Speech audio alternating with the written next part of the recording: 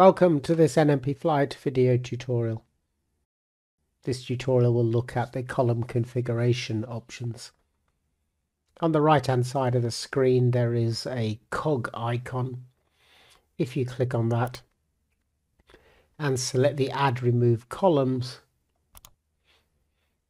then you will see a list with a possibility to revert to the initial application setting for the columns and then the options of available and displayed. The available are the ones that you can select to add to your flight list. Displayed are the ones that you currently have displayed in your flight list. The available are in alphabetical order. The displayed are in the order that you have selected on your screen.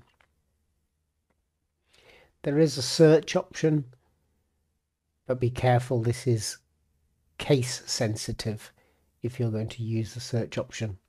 Or you can scroll through and find the column that you're looking for.